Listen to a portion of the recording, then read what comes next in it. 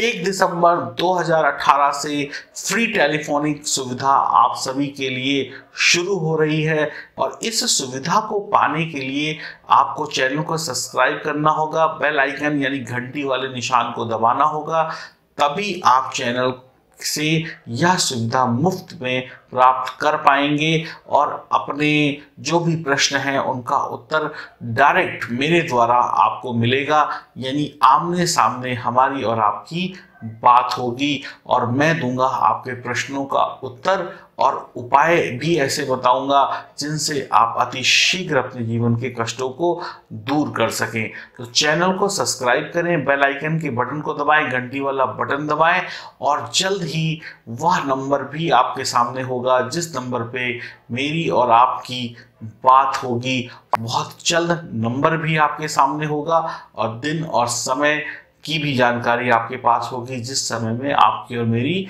बात हो सकती होगी। और एक और खुशखबरी है आपके लिए, हर महीने हम पाँच लकी ड्रॉ को चुनेंगे जो हमारे सब्सक्राइबर होंगे।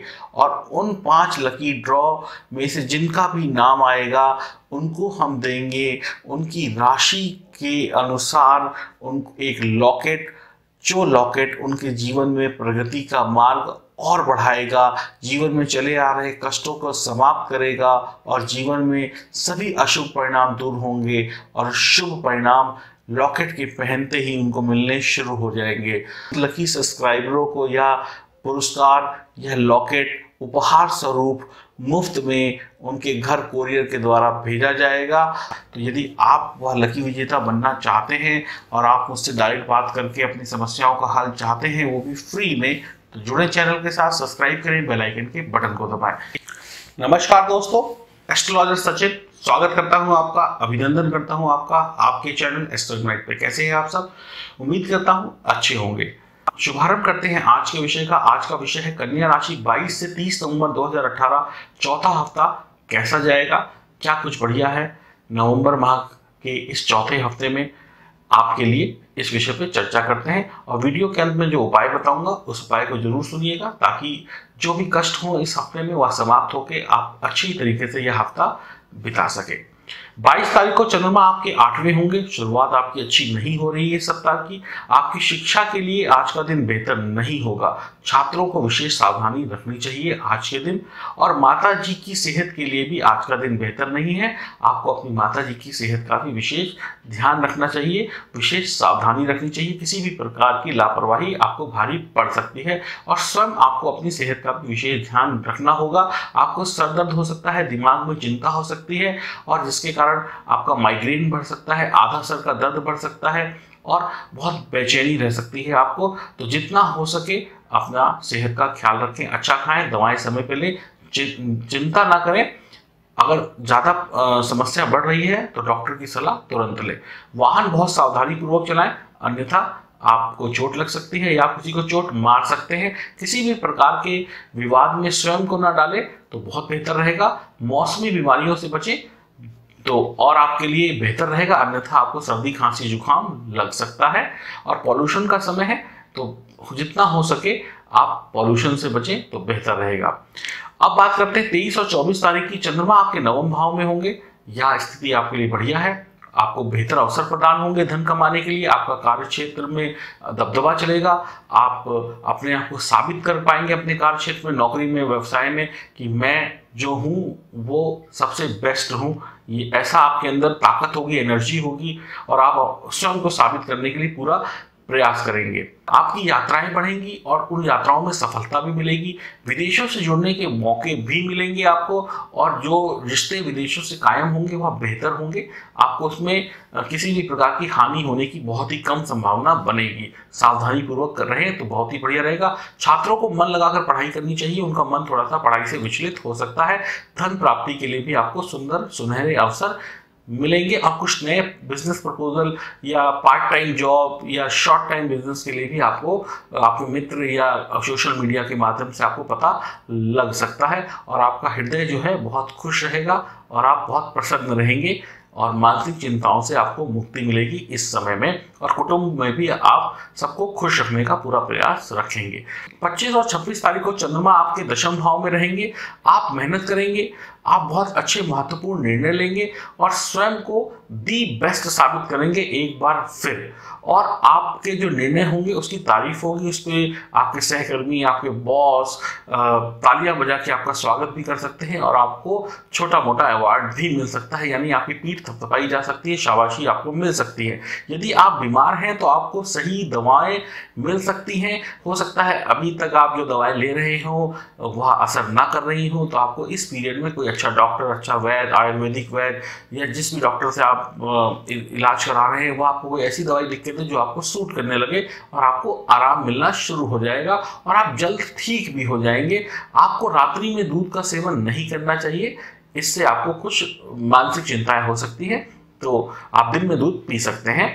कार्य क्षेत्र में आप मेहनत के साथ साथ प्रमोशन भी पाएँगे, भागदौड़ और थकान बनी रहेगी, मेहनत होगी, थकान तो होना निश्चित है और जब आप काम करेंगे तो हर काम करने वाला व्यक्ति थकता ज़रूर है तो इस थकान को सकारात्मक तरीके से लीजिएगा, नकारात्मक तरीके से मत लीजिएगा, क्योंकि मेहनत के बिना तो किसी को कुछ भी मिलना बड़ा ही मुश्किल होता है और कुटुंब का साथ मिलेगा तो कोशिश करें जब भी ऑफ़िस से, व्यापार से, कार्य क्षेत्र से घर वापस जाए तो घर वालों के लिए कुछ मीठा अवश्य लेके जाए, ताकि आप भी अपना मुँह मीठा करें घर जाके और घर वालों को भी खुशियाँ प्रदान करें। तो खाली हाथ मत जाइएगा, कुछ ना कुछ मीठा लेके ज़रूर जाइएगा और घर की महिलाओं को भी लाभ होगा। और यदि आप अपने पत्नी को या आप कामकाजी महिला हैं यदि आप अपने पति को प्रसन्न करना चाहती हैं तो उनकी पसंद का कोई छोटा सा ही गिफ्ट उन्हें दें, बहुत ही बेहतर रहेगा।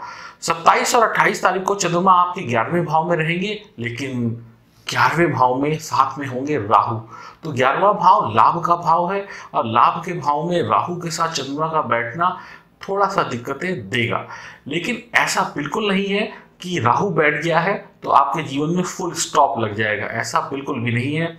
आपको बस इस दिन को बेहतर बनाने के लिए अपनी सोच सही रखनी पड़ेगी, अपने दिमाग को शांत रखना पड़ेगा, अपने गुस्से को शांत रखना पड़ेगा, अपनी वाणी को मधुर रखना पड़ेगा और आपको अपने ऊपर थोड़ा सा ज़्यादा वर्कआउट करना पड़ेगा। अपनी जो भी आपकी कमियाँ हैं, उनको बहुत सुधारना पड़ेगा और आप कोई ऐसी गलती ना कर दें जिससे आपको हानि हो, उस पर कंट्रोल करना पड़ेगा और मेहनत थोड़ी सी ज़्यादा करनी पड़ेगी। तो इस अशुभ दिन को भी आप शुभ बना पाएँगे और जो उपाय मैं आपको बताऊँगा, उससे जो बची कुची अशुभता होगी, वह भी दूर हो जाएगी। तो समझदारी पूर्वक आप यदि आप निर्णय लेंगे तो आपको लाभ होगा।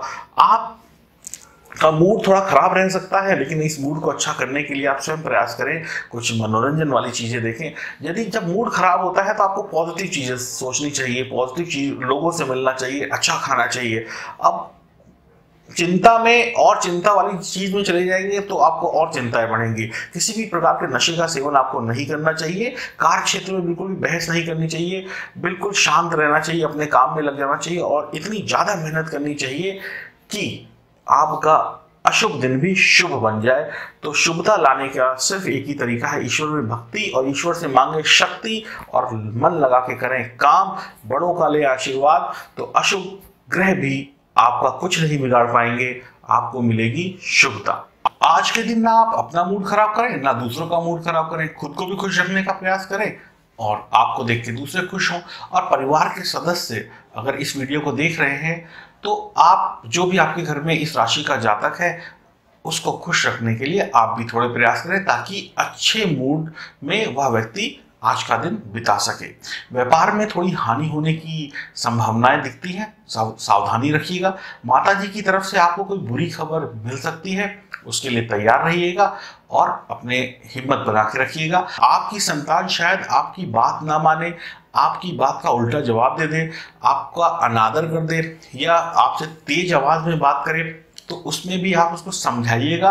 आप दोनों लोग लड़िएगा नहीं, अन्यथा बात बिगड़ जाएगी और खराब ग्रह का काम क्या होता है? बात को बिगाड़ना कि और उसमें घी में आग डालना। यदि आप आग लगने ही नहीं देंगे तो खराब ग्रह उसमें घी डाल ही नहीं पाएगा तो आग भड़केगी ही नहीं। इस बात को आप समझ लें तो जितना समझेंगे, उतना ही बेहतर रहेगा। प्रेम संबंध वैवाहिक जीवन में थोड़ा बहुत मनमुटाव हो सकता है, लेकिन सावधानी रखेंगे, ज़्यादा बहस नहीं करेंगे थोड़ा सा मौन सर्वार्थ साधनम वाले नियम को चुनेंगे, चुप रहने का प्रयास करेंगे तो उसमें भी बहुत कमी आएगी।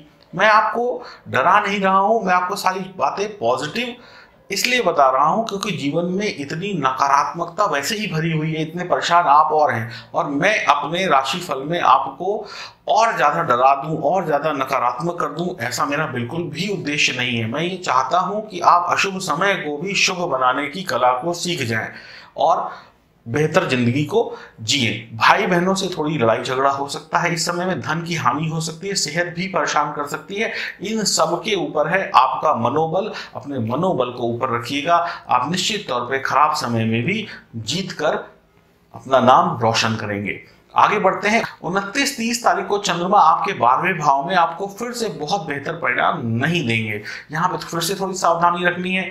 आपको कोई छोटी बीमारी है, यदि उसमें आपने लापरवाही बरती तो वह बड़ी हो सकती है। कोई छोटी चोट है, आपने लापरवाही बरती तो वह बड़ी हो सकती है, उसमें दर्द बढ़ सकता है।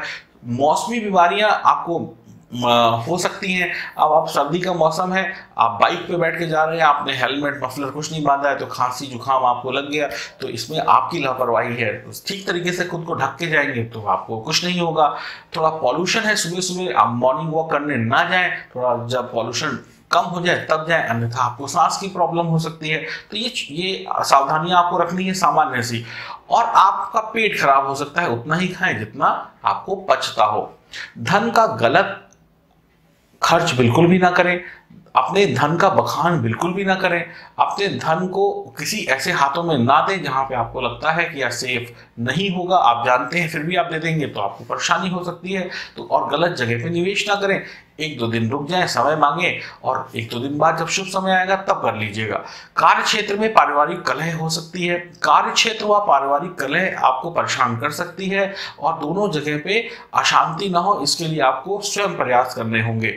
आपको अनिद्रा की प्रॉब्लम हो सकती है, आपको रात में नींद ना आए, आप देर रात तक जागते रहें या नींद आ भी गई तो वो मज़ेदार नींद ना आए, जिससे पूरे शरीर में एनर्जी आती हो या पूरा शरीर जो है वो तनाव मुक्त होता हो तो जितनी अच्छी नींद होगी, उतनी अच्छी आपकी अगली सुबह होगी। अगर रात में आज आप अच्छा सोए हैं तो अगली सुबह उतना ही अच्छी परफॉर्मेंस काम कर पाएँगे। तो रात में नींद लेने के लिए आप थोड़ा सा अपने आप सैर करें, व्यायाम करें, ताकि थकें और आपको नींद आए और टेंशन ना लें। दिमाग, टेंशन लेने से यदि आपको कुछ मिलता है तो आप ले लीजिएगा।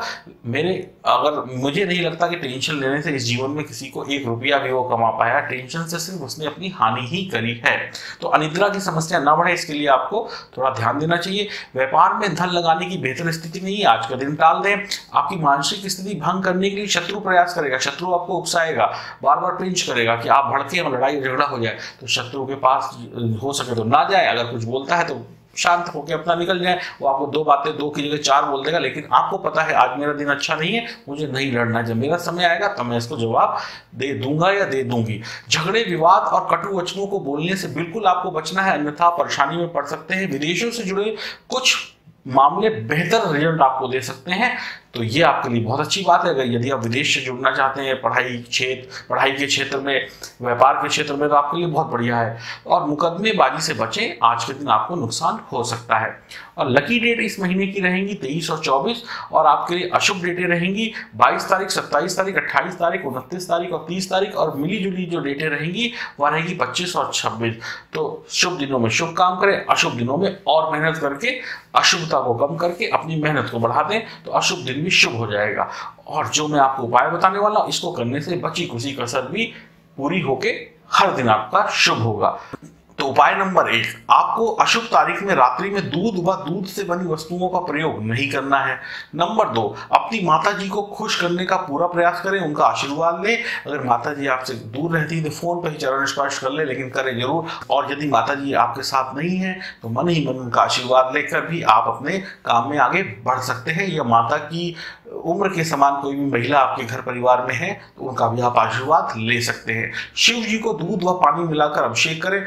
सारे कष्ट दूर होंगे यदि आपने यह तीन उपाय कर लिए। और जो बातें मैंने आपको बताई हैं, यदि आपने उस तरीके से अपना यह सप्ताह बिताया तो निश्चित तौर पर आपको बेहतर परिणाम मिलेंगे और कोई भी आपको अशुभ परिणाम नहीं मिलेगा। तो चैनल को सब्सक्राइब करें, बेल आइकन के बटन को दबाएँ। हरिओम नमस्कार।